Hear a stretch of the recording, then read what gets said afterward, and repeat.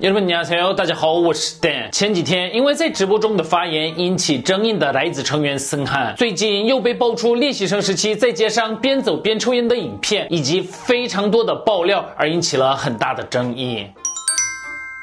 首先，一位网友上传了沈汉在街上边走边抽烟的影片，接着就有自称是沈汉朋友的网友爆料了沈汉见女练习生想要介绍女练习生给队友，这些都是瞒着 SM 做的等非常负面的内容。不过，除了抽烟影片之外，其他的爆料虽然在韩网很多人都相信，但因为不是百分之百确定的事情，所以需要大家自己来过滤一下。而目前因为接二连三的出现沈汉的争议，很多粉丝们都要求沈汉退团，但是在海外，大部分的粉丝们都是保。护森汉，我们来看一下韩国网友们的反应。通常爆料都是关系不好的人爆出来的，但他都是周围的人在爆料。我就想，即使平常大家都在一起玩，但他们心里其实是非常讨厌他。如果团体里有这样的成员，所有的团粉都会离开，只会留下个人粉丝，因为无法跟这种出了问题的成员推 CP 关系，所以这是必然的结果。爱豆主要靠形象，这要怎么办呢？SM 似乎不会让他退团，但如果继续留下他，团体的形象恢复将会很困难，而且对于新粉丝的吸收也会变得。更加困难，可以完全理解韩国粉丝们的反应。他是公开练习生，不明白他为何过得这么不检点。森汉娜，就自愿退团吧。其他努力生活的成员们为什么要因为你受苦？已经是第三次了，真的已经给了你很多机会，你根本不适合做 idol，放弃你的执念。这时候自愿退团是对的，因为你一个人来子快要垮掉了。不论这件事的轻重，他的行为对这个行业的影响有多大，只要看看论坛就知道了。现在是新人需要吸引粉丝努力的时候，如果有一个人成为了入坑的障。爱，那就会成为前进的绊脚石。通常来说，我可以理解这些行为，但作为卖幻想的 idol，如果职业意识是零，谁会想成为粉丝并花钱呢？而且目前为止，在热搜上从未见过他的名字，就能知道他也不是个人气成员。我是 Breeze，这家伙真的太厉害了。他的床上自拍被爆后，看他在音乐节目上哭泣，我就想，是吧？为了其他成员也不想引起争议，我只想默默的支持 Anton。结果竟然是这样，他应该完蛋了。就连粉丝们之间也没有人想要为他辩护，大家都希。希望其他成员不受影响，大家都放弃他了。但是也有这样的留言，他并没有犯罪，这算是要让他退团的事情吗？这其实看起来像是一个充满自卑感的朋友不断试图拉他下水的行为。这真的是该退团的事情吗？一直以来都感觉到，从某个时候开始，在爱豆界提出让人退团的声音变得太容易了。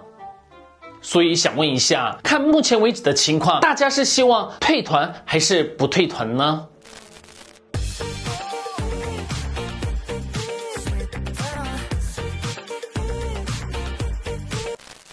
接下来我们来看一下各团身高最高的女爱豆排行，就是在各团中整理出身高最高的成员后整理出来的排行。这个身高是参考了成员们自己在节目中说过，或者是官方提供的资料，可能也会有错误或者有漏掉的人，是我的错，我的错，我的错。希望大家能用留言来补充。那我们马上来看看吧。